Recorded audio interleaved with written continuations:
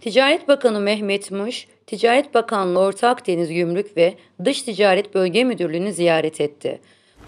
İsmail. Çök Batu. Burada bölge müdürü Ceylan Er ve kurum yetkilileriyle bir araya gelen Muş,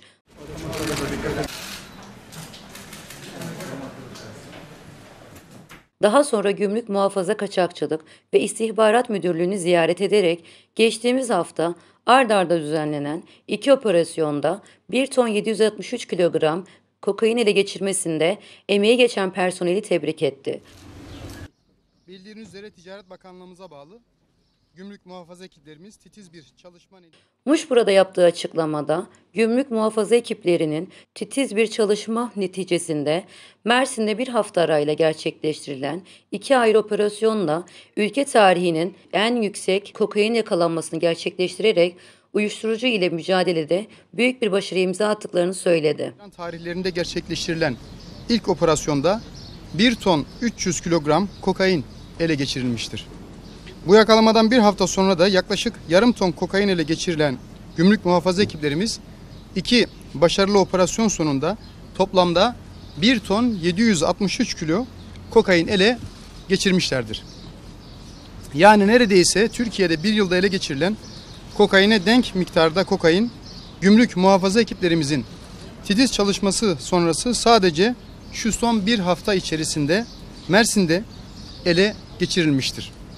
Bu başarı gümrük muhafaza ekiplerimizin dikkatli ve titiz çalışmasının neticesinde ortaya çıkmıştır. Bu başarıda emeği geçen tüm bakanlık personelimizi ve kaçakçılıkla mücadelede daima işbirliği içerisinde olduğumuz devletimizin tüm güzide kurumlarını bir kez daha kutluyorum. İstihbarattır, emniyettir, bütün kurumlarımızı ayrıca bu anlamda tebrik ettiğimi ifade etmek isterim. Değerli arkadaşlar, yasa dışı ticareti önlemek bakanlığımızın öncelikli görevleri arasındadır. Bu kapsamda bu alanda özveriyle çalışıp oldukça memnuniyet verici sonuçlar elde ediyoruz. Bildiğiniz üzere Ticaret Bakanlığı olarak 8 Haziran'da uyuşturucu kaçakçılığını önlemeye dönük gümrüklerimizde ek tedbirlerin getirildiği yeni bir genelge yayınlamıştık. Bu genelge ile güzergah bazlı analizlere ağırlık vermiştik. Yayınladığımız bu genelgenin uyuşturucu kaçakçılığıyla mücadelede bundan sonra bundan sonra da önemli katkılarının olacağına inanıyorum.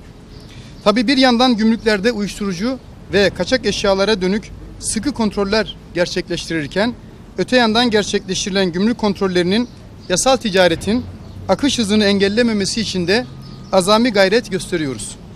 Bu bizim için asla taviz veremeyeceğimiz hassas bir dengedir. Bu konu oldukça bu konuya oldukça dikkat ediyoruz. Bu nedenle gümrük kontrollerinin hızlı ve etkin olması için insan kaynağımızın, teknik cihazlarımız ve bilgi sistemlerimizin gelişimine büyük önem veriyoruz. Tüm bu imkan ve kabiliyetlerimizle yılın başından bu yana yaklaşık 4 milyar Türk lirası değerinde kaçak eşya ele geçirildi. Toplam 6.1 ton ağırlığında uyuşturucu ile 15 ton 150 kilogram ağırlığında uyuşturucu yapımında kullanılan maddenin ülkemize girmesine engel olduk.